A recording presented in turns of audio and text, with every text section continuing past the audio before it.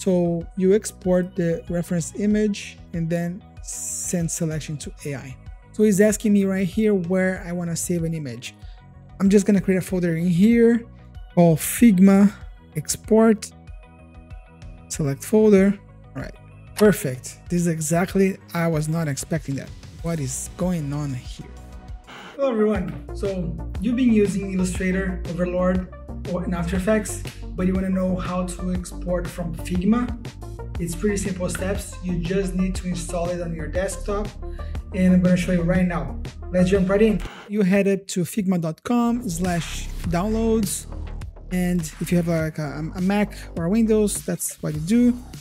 You're going to get, in my case, I'm going to get the desktop for Windows and it's right here. So I'm just gonna click it right here to install it. Since I already have installed in my computer, it's gonna open the, the app directly.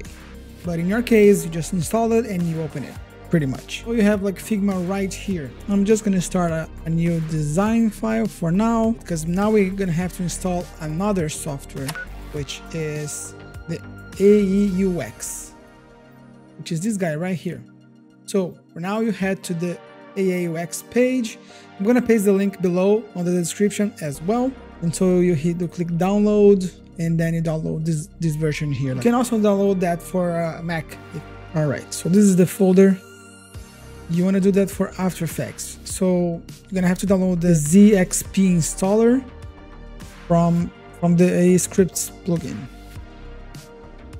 I'm gonna download it for Windows.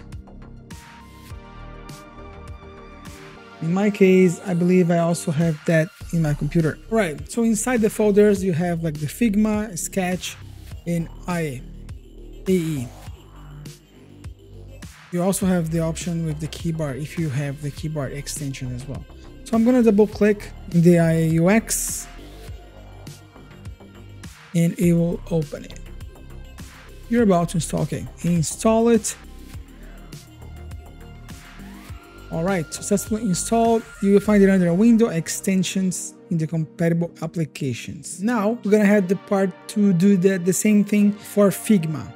So what it's saying here is to copy the contents of this one outside of the download location.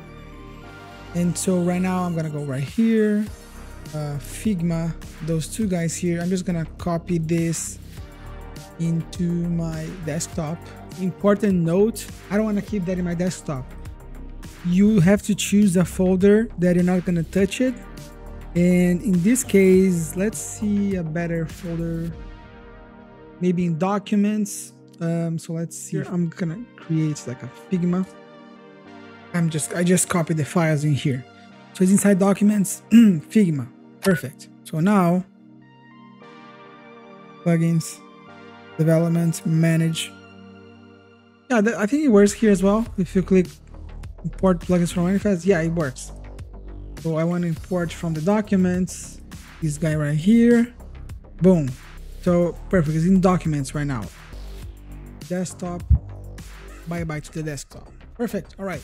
So inside Figma, you click to create a new design file, it's the same. So now I'm gonna have only one this guy right here. Close After Effects and then open again. You have to have a frame like this. So I'm going to create one 190 20 to 180. All right, terrible color choices, but you got the point. I'm also going to change the name of this frame to scene 01, for example. So you select the scene but right now, you just send selection to AI. And what it does, it creates this folder and it creates another folder with this with this shot that I named. And then the composition is inside right here. So we got all of the files right here. Pretty much it. So you say you have you, you create like maybe like a storyboard or style frames inside of Figma and you you want to do the scene two. You just click it here yeah, and it's super fast as well. Scene 2 and scene 1 right here. If you want to just export one little thing, you select that one little thing and click. And export it. It created another one. Increment the, the number, so scene 3 and it's just the title. So you export the reference image and then send selection to AI. So it's asking me right here where I want to save an image. I'm just gonna create a folder in here called Figma export, select folder. All right, perfect. This is exactly, I was not expecting that. What is going on here? We created like the final, the final look, which is great. We also have this mark as a guide layer. So I'm just gonna put it back. Yeah, you have all the files here and then you can animate it everything. And that's a wrap. That's it guys. Thank you for watching. And hey, if this video was helpful to you, let me know by giving a like. If you wanna support the channel, consider subscribing. And if you go through any issues, let me know in the comments. See you in the next one.